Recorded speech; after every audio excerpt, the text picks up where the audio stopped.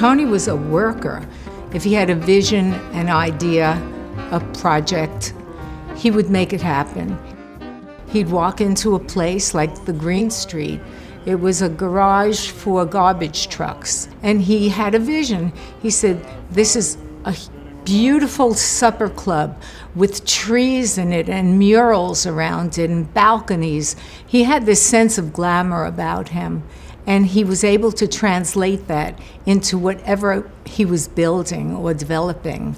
And he really loved abandoned places the, the more horrible the neighborhood, the better he liked it because there was more he could do to fix it. I was uh, blessed enough to have a double lung transplant. It gave me uh, a new and renewed life. I wanted to sing again. I didn't sing for a whole bunch of years before that because, you know, business, life, physical conditions, a lot of things. And it was time for me to come back to that. Tony was my college sweetheart. He was sweet, he was funny, he was kind, he was wonderful. And that was it for the rest of our lives. The romantic songs are really devoted to Janet and how I feel about her and the poetry I want to sing to her.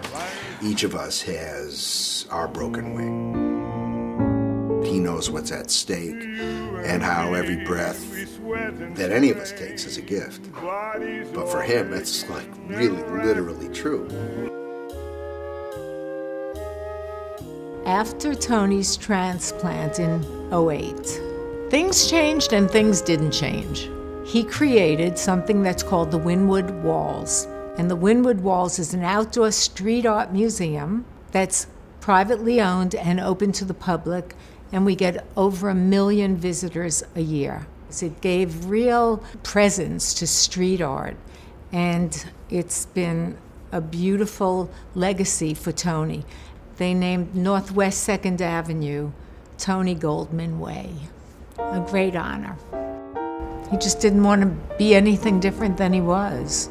So he did it. He lived. He lived. And that was what was so great about his life. He didn't give in, he didn't give up. Uh, I don't see the negative side of life. I look at the positive side of life and then take, let that draw me and then deal with the problems that, that, that come up as a result of, of committing yourself to a, a particular community.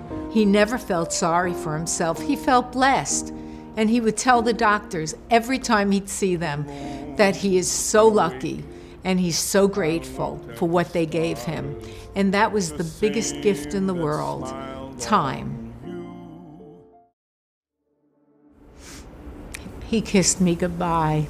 Never forget it. He said, Come here, I want to kiss you. And it was the sweetest kiss. And then he left. On his terms, with dignity. Once you go through the door, there can be terrific brightness and sunshine and a new life on the other side of the door. Anything is possible.